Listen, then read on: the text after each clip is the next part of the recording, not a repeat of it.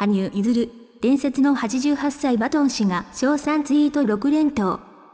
3分間でビューティフルを4連発、ご視聴ありがとうございます。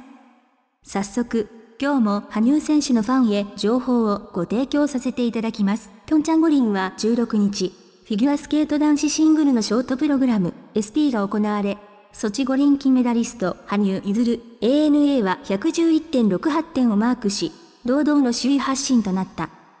羽生が目指す五輪連覇を最後に達成した米国の伝説的スケーター、88歳のディック・バトン氏は後継者について、ツイッターで賞賛の投稿を実に3分間で6度も投稿。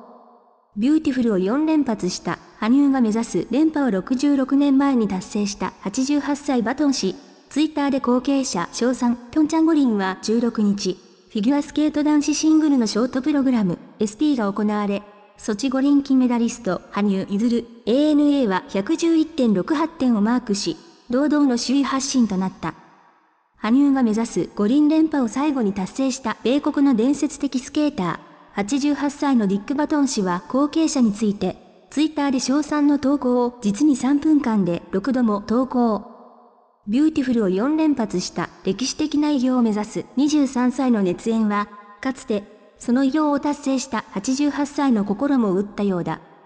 完璧な演技を披露し、111.68点をマークした羽生。1948年、1952年に連覇を達成したバトン氏は羽生の演技中だった日本時間午後1時49分からツイートを開始。実に3分間で6度更新し、演技に対する投稿を続けた偉大な音楽の選択。インとアウトのエッジングも美しいを皮切りに、4回転より重視されないが、美しいスピン、最上級のトリプルアクセル、凄まじいコンビ。エッジングもファンタスティック、音楽がスケートを支えている。そして、スケートが音楽を支えていると連投した男子 SP で約90件の動向。羽生には計4度も、ビューティフルを連呼、そして、演じ切った羽生を見届けると、くまのプーさんが客席から大量に投げ込まれる風景に感銘を受けた様子で、美しいプログラム、美しい振り付け。テディベアの雨が降り注いだかのようだと締めくくった88歳を迎えているバトン氏。この日の男子 SP ではあらゆる選手の評価を続けざまに約90件の投稿を続けていた。中でも、羽生については演技時間とほぼ同じ3分間で6度ツイートし、計4度もビューティフルを連呼するなど、印象に残ったようだ。フリーは17日に行われる。66年前に伝説を打ち立てたバトン氏から賞賛を受けた羽生は、五輪史に残る金字塔を打ち立てることができるのか。2018年2月17日、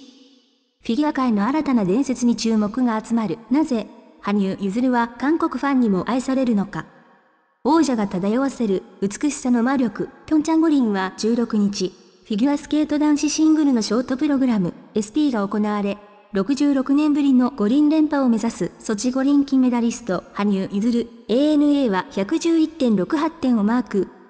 圧巻の首里発進を決めた絶対王者に対し、韓国のネット上では、可愛くて上手、王子様みたい。男なのに美しいと王者が漂わせる魔力に注目が集まっている豪健な男性が人気の韓国で女性ファンが虜になった理由。ピョンチャン五輪は16日、フィギュアスケート男子シングルのショートプログラム SP が行われ、66年ぶりの五輪連覇を目指すソチ五輪金メダリスト、羽生結弦 ANA は111.68点をマーク。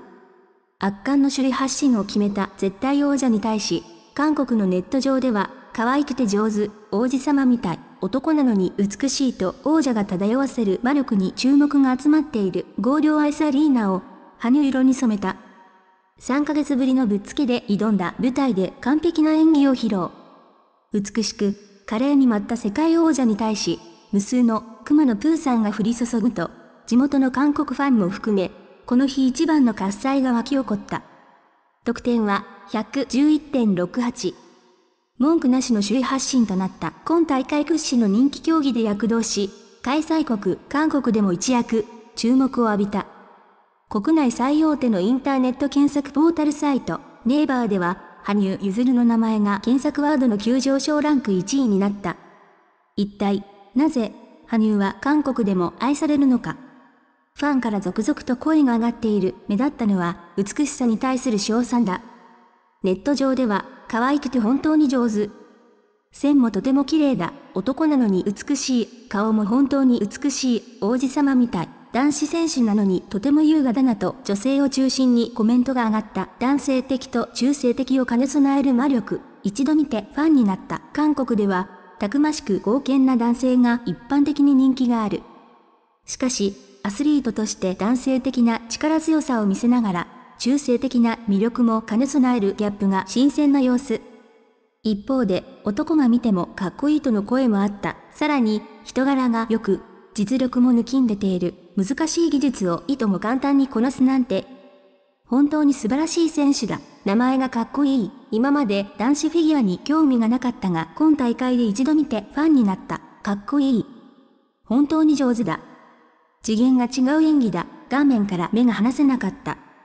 ファンになったようだなど、様々な観点からコメントが投げかけられた SP の演技で一躍、韓国ファンの注目を集めるようになった羽生。運命のフリーは17日に行われるが、66年ぶりとなる五輪連覇の行方は、開催地でも熱視線を浴びそうだ。ザ・アンサー編集部、ご視聴ありがとうございました。これからも一緒に応援していきましょうね。チャンネル登録をよろしくお願いいたします。よろしく。